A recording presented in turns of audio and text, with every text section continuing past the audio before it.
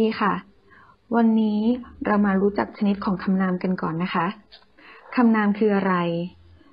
คำนามก็คือคำที่เราใช้เรียก คน สัตว์ สิ่งของ และสถานที่ จากคำศัพท์ที่นักเรียนเห็นอยู่บนหน้าจอ มีคำไหนบ้างคะที่เป็นคำนาม b o y boy เด็กผู้ชาย คำนี้เป็นคำนามค่ะ baby b a b y ทารกคำนี้ก็เป็นคำนามนะคะ b e n ben คำนี้เป็นคำนามค่ะ แต่เป็นคำนามชี้เฉพาะของเด็กผู้ชายคนนี้เท่านั้นนะคะ p l a y play เล่นคำนี้ไม่ใช่คำนามค่ะ j u m p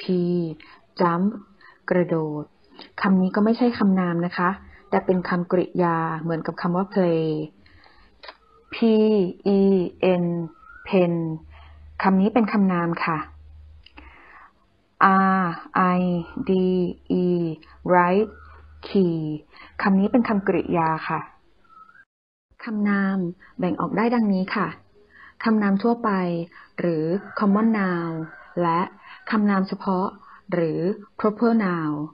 common noun หรือคำนามทั่วไปยังแบ่งออกได้เป็นคำนามนับได้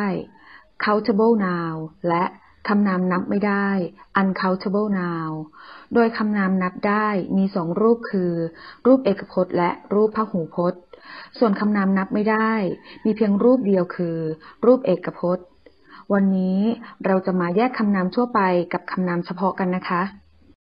คำนามทั่วไป จะอยู่บนพื้นที่สีเหลืองทางซ้ายมือ คำนามเฉพาะจะอยู่บนพื้นที่สีเขียวทางขวามือค่ะ school โรงเรียน สถานที่ที่มีการจัดให้มีการเรียนการสอน เรียกว่า school ค่ะ แต่ถ้านักเรียนระบุลงไปเลยว่า A B C school แบบนี้ จะกลายเป็นคำนามเฉพาะนะคะใช้เรียกเฉพาะโรงเรียนนี้เท่านั้นค่ะ เด็กผู้ชาย เราใช้คำว่า boy คำว่า boy เป็นคำนามทั่วไปค่ะ แต่ถ้านักเรียนระบุชื่อลงไปเลยว่า เด็กผู้ชายคนนี้ชื่อเบน เบน เป็นคำนามเฉพาะ ใช้เรียกเฉพาะเด็กผู้ชายคนนี้ค่ะ cat c a t cat แมว เป็นคำนามทั่วไป ใช้เรียกชื่อสัตว์ที่มีลักษณะแบบนี้นะคะ แต่ถ้านักเรียนระบุชื่อลงไปเลยว่า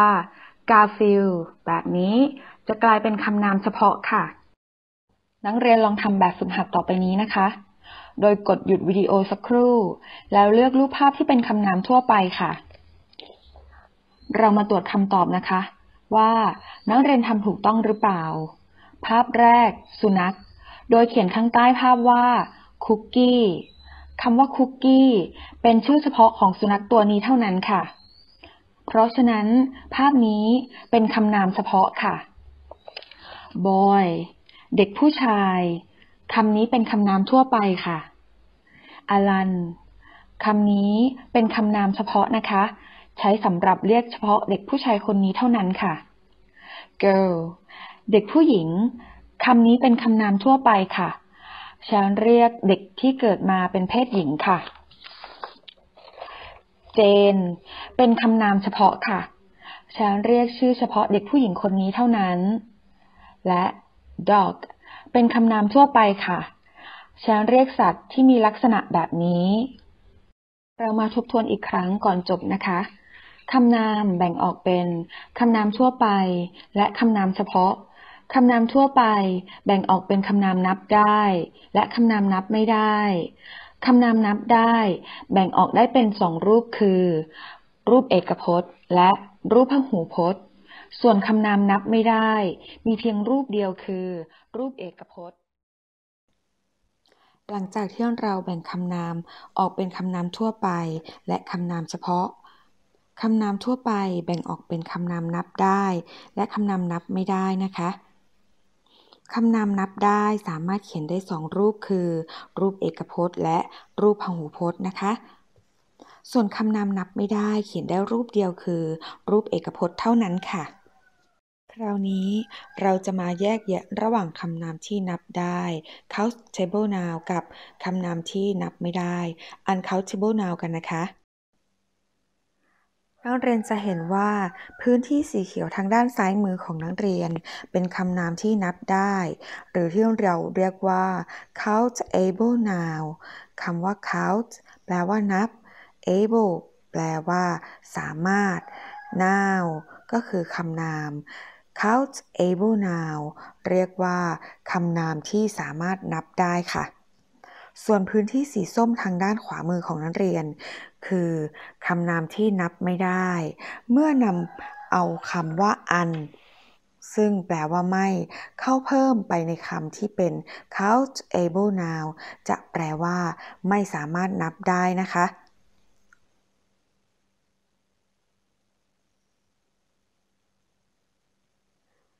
คราวนี้เราลองมาดูคำศัพท์ทีละคำนะคะ ซึ่ง bird เป็นคำนามที่นับได้คำที่สอง baby เด็กทารก เป็นคำนามที่นับได้ค่ะ bench ม้านั่ง เป็นคำนามที่นับได้เช่นเดียวกันค่ะ tree ต้นไม้ก็เป็นคำนามที่นับได้นะคะ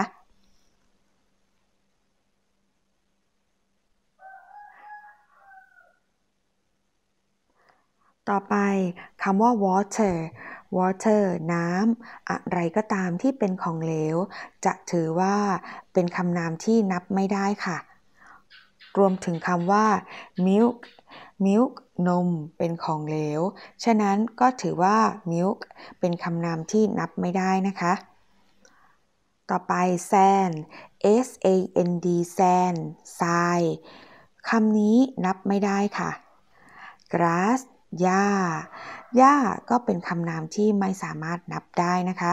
นักเรียนอาจจะรู้สึกเหมือนว่าหญ้าเป็นเหมือนต้นไม้น่าจะนับได้ แต่ถ้านักเรียนไปลองนับหญ้าดูนะคะ ไม่สามารถนับได้อย่างแน่นอนค่ะ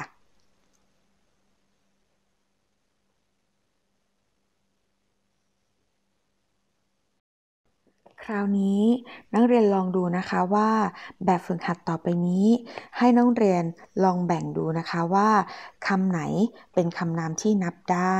และคำไหนเป็นคำนามที่นับไม่ได้ค่ะ โดยคำไหนที่เป็นคำนามนับได้ ให้นักเรียนเขียนคำว่า countable noun ลงไปในช่องว่าง ส่วนคำไหนที่นับไม่ได้ ให้นักเรียนเขียนคำว่า uncountable noun ลงไปนะคะ นักเรียนหยุดวิดีโอสักครู่ แล้วลองทำแบบฝึกหัดดูค่ะ หลังจากที่นักเรียนลองทำดูแล้ว นักเรียนลองตรวจคำตอบดูนะคะ เราลองมาตรวจคำตอบกันค่ะ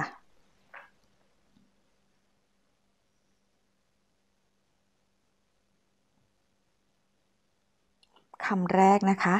baby b a b y เด็กทารก เป็นคำนามที่นับได้ค่ะ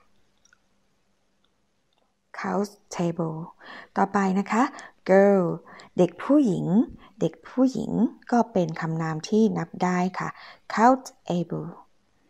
คำต่อไปนะคะ water water น้ำ คำนี้นับไม่ได้ค่ะ uncountable ต่อไปนะคะ grass grass หญ้า เป็นคำนามที่นับไม่ได้เช่นกันค่ะ ต่อไปนะคะคำว่า school โรงเรียน เป็นคำนามที่นับได้ค่ะ คราวนี้ลองไปดูอีกตัวอย่างหนึ่งค่ะสำหรับแบบฝึกหัดนี้ ให้นักเรียนกากบาทลงบนภาพ ที่แตกต่างจากภาพอื่นๆ ในข้อนั้น แล้วระบุลงไปในช่องสี่เหลี่ยมนะคะว่า เป็นคำนามที่นับได้ หรือเป็นคำนามที่นับไม่ได้ค่ะ ให้นักเรียนหยุดวิดีโอสักครู่ แล้วมาดูเฉลยกันค่ะ หลังจากที่นักเรียนลองทำดูแล้ว คราวนี้เราลองมาเฉลยกันนะคะ dog d o g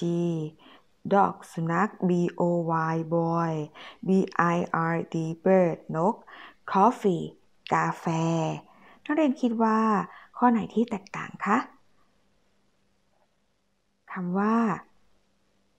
กาแฟ coffee นะคะ เพราะว่า coffee เป็นของเหลว ไม่สามารถนับได้ เป็น uncountable ข้อต่อไปนะคะ S A N D sand ทราย grass หญ้า water และ pail pail ถังคำที่แตกต่างก็คือคำว่า pail เป็นเพียงคำเดียวที่สามารถนับได้นะคะ ข้อที่ 3 milk rice tea book book หมายถึงหนังสือ สามารถนับได้ค่ะ count able ข้อที่ 4 นะคะ ข้อที่แตกต่างก็คือคำว่า sugar sugar น้ำตาลซึ่งไม่สามารถนับได้นะคะ uncountable ข้อที่ 5 นะคะ ข้อที่แตกต่างก็คือคำว่า apple คือสามารถนับได้นะคะ countable และข้อสุดท้าย salt ก็คือเกลือ ซึ่งเป็นคำนามที่ไม่สามารถนับได้ uncountable noun นะคะ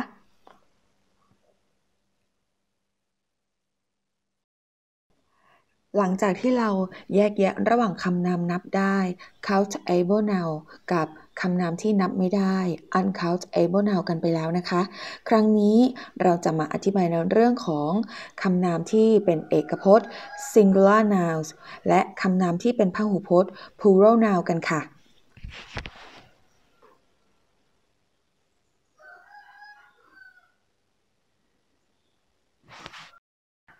คำนามเอกพจน์ หรือ singular noun คือคำนามที่แสดงถึงสิ่งของเพียงชิ้นเดียว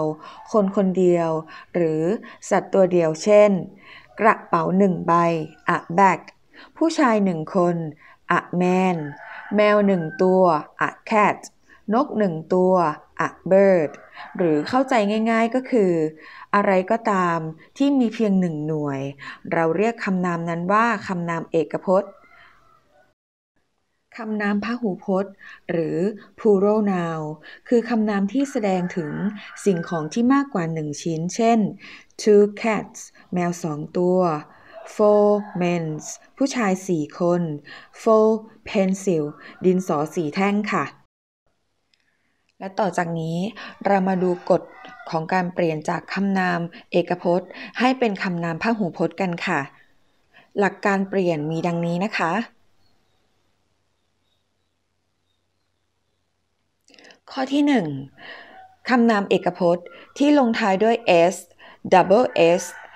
x sh ch double z และ z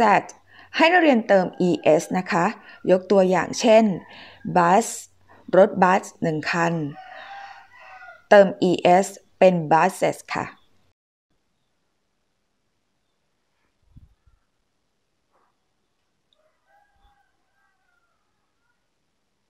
ข้อ 2. คำนามเอกพจน์ที่ลงท้ายด้วย o และหน้า o เป็นพยัญชนะให้เติม es เช่น buffalo เปลี่ยนเป็น buffaloes กระบือ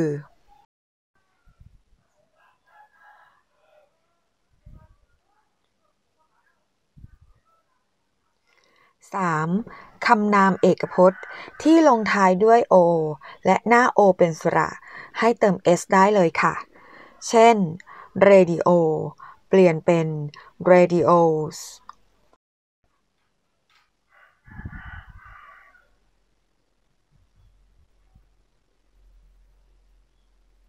ข้อที่ 4 คำนามเอกพจน์ที่ลงท้ายด้วย y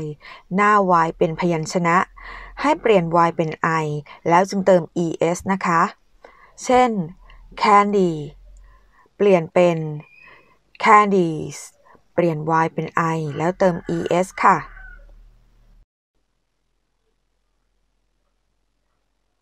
5. คำนามเอกพจน์ที่ลงท้ายด้วย y และหน้า y เป็นสระ ให้เติม s ได้เลยค่ะ เช่น boy เปลี่ยนเป็น boys เติม s ได้เลยนะคะ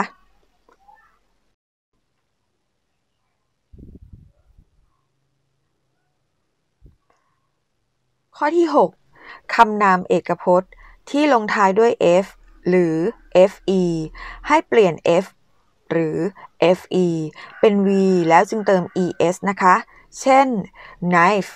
เปลี่ยนเป็น knife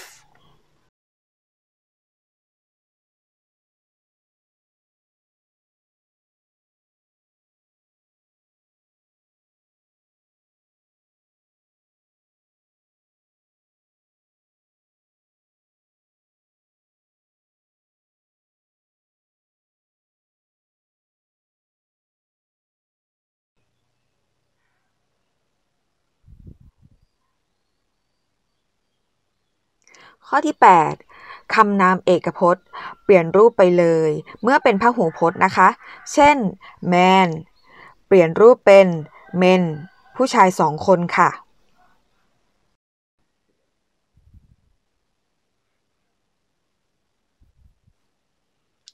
10. คำนามต่อไปนี้เป็นรูปพหูพจน์ แต่ต้องใช้เป็นรูปเอกพจน์เสมอค่ะ เช่น tactics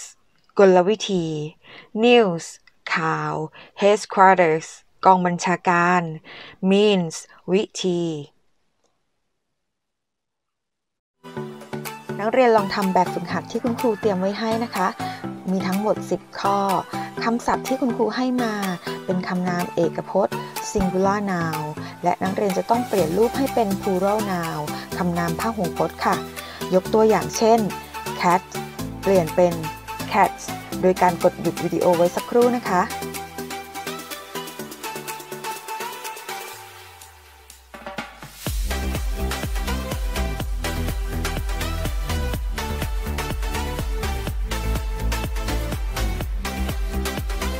หลังจากที่นักเรียนได้ลองทำแบบฝึกหัดดูแล้ว นักเรียนสามารถตรวจคำตอบได้ตามท้ายคลิปที่คุณครูแนบไว้ให้นะคะ